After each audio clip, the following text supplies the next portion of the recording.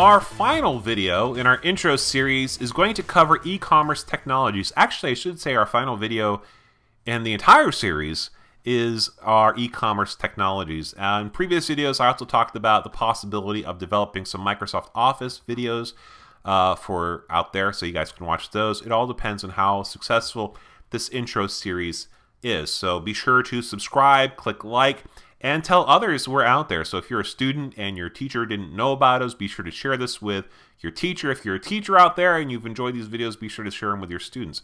So uh, anyways, moving on. So e-commerce technologies. This is software and IT systems that support transactions over networks. So we're looking at different technologies that support, that make e-commerce possible. Some examples of e-commerce technologies include e-commercial uh, hosts, digital money, and online advertising. The first one, e-commerce hosts, these are companies that can take some or all of the responsibility of creating and maintaining an e-commerce online system for a business. What we're looking at here are hosting companies, host development companies that can create completely or support e-commerce solutions. So for example, Cafe Press would be an example of an e-commerce host where you, the user, don't have to know anything about the back end of creating an online store or storefront. You just create the products, they handle the distribution, they handle the technology. That allows it. Now, my own personal site, MrFordsClass.net, I do all of it. So I have a Joomla site, I have different plugins, and I manage the back end. That allows me to make e-commerce possible. But even then, I still have some e-commerce hosts involved. For example, the plugin that I use for my Joomla, the PayPal that runs the backend pay system. These are different things that allow me to do what I do. Speaking of PayPal, we also have something known as digital money. Digital money can also be known as e-cash or e-money, digital currency, electronic cash, etc., etc. Just add electronic or digital in front of it and you've got probably the right term. Some great examples of digital money include PayPal, which is one of my favorites, Google Checkout, and Bitcoin. Now, first of all, PayPal. I love PayPal. PayPal, yeah, it makes what I'm doing possible. It works with real currency. So it actually is based off of real money. It doesn't create its own money. It's not imaginary money. It's not virtual money. It's real money. It's real money conversions. So you can take the US dollar and convert it to pounds. So for example, I have members on my site from other countries, from Australia, from England, from New Zealand, from all different other countries, and they use different currency out there.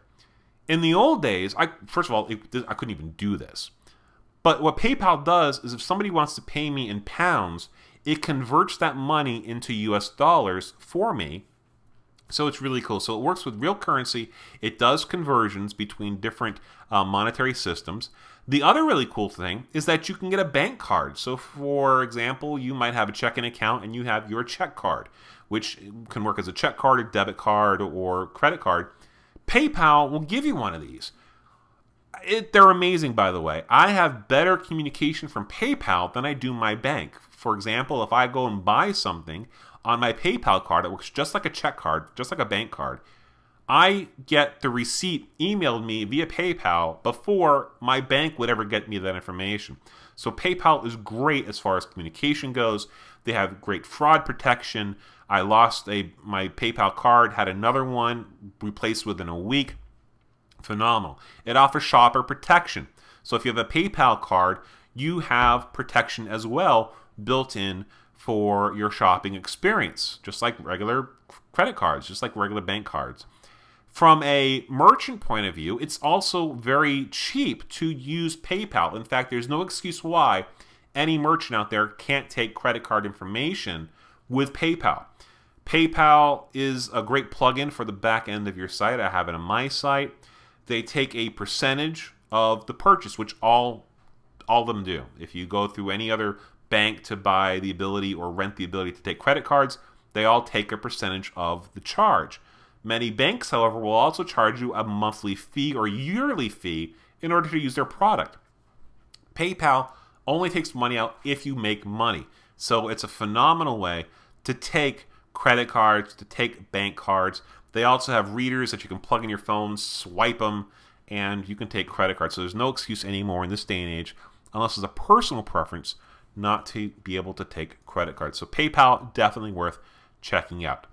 Bitcoin, Bitcoin is kind of new. It's a peer-to-peer setup. There's no bank or middleman. It's open source. It uses a virtual money.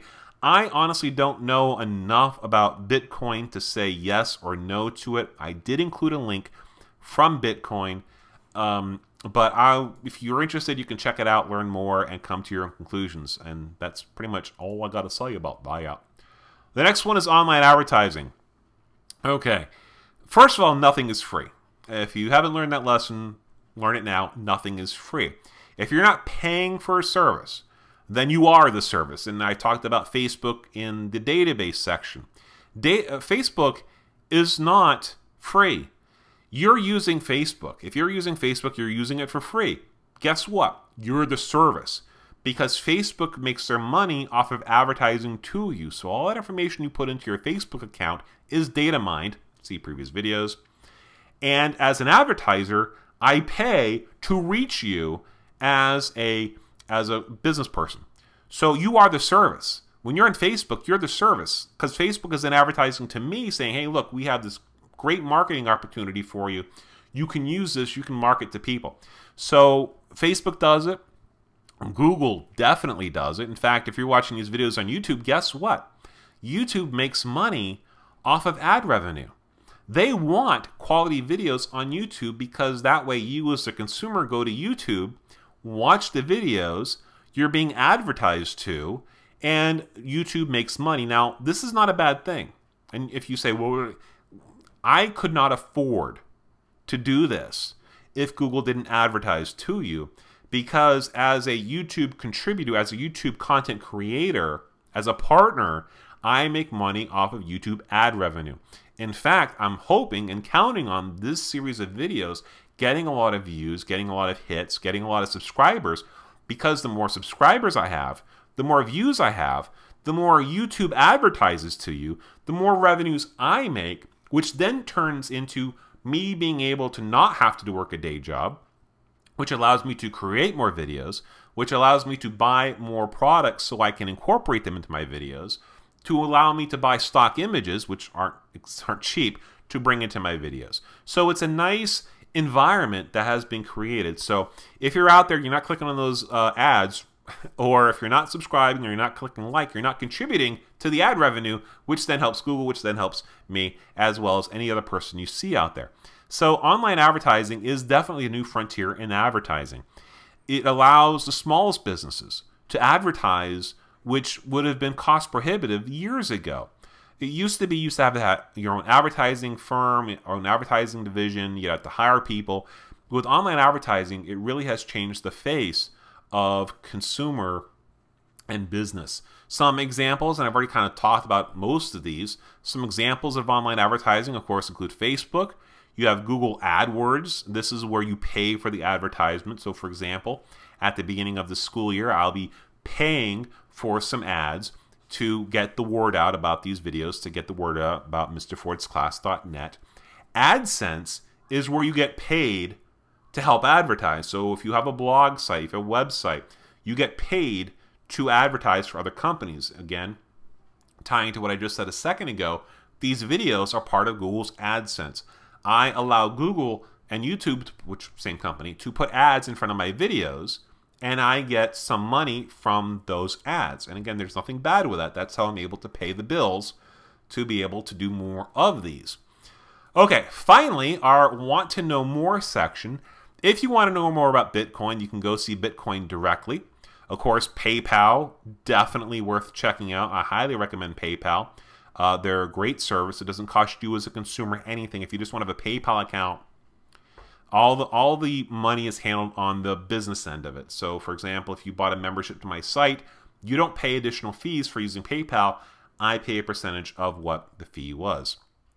Please subscribe you know, we talked about how ad revenue and YouTube and all this stuff. This is a documentary. It's phenomenal.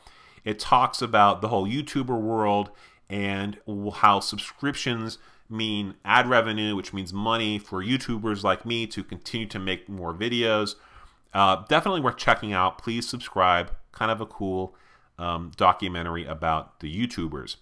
The next one is Cafe Press. This is what we talked about earlier consumer to consumer marketing. If you have good ideas for products and you don't want to do the whole logistics and infrastructure to develop these products, you can create stuff using Cafe Press. Another one is called Store Envy. Also, another one of these consumer to consumer kind of marketplaces. A lot of cosplayers use Store Envy to sell um, prints of themselves so that they can then go on to buy more costumes and support their cosplaying ways. Okay, we have reached the end of our intro stuff. If you've been with me the entire time or if you joined me partway through, thank you so much. As an educator, it really means a lot that I'm helping people out there learn. Hope you've enjoyed these videos. You can always contact me on my Facebook page. You can contact me here at my YouTube page. I want to know how these videos were for you. If you have any ideas for future videos, any suggestions, I'm always open to that. Until our next series of videos, we'll see you later. Have fun studying out there and best wishes in whichever way you're going in your academic pursuits. Goodbye for now. Bye bye.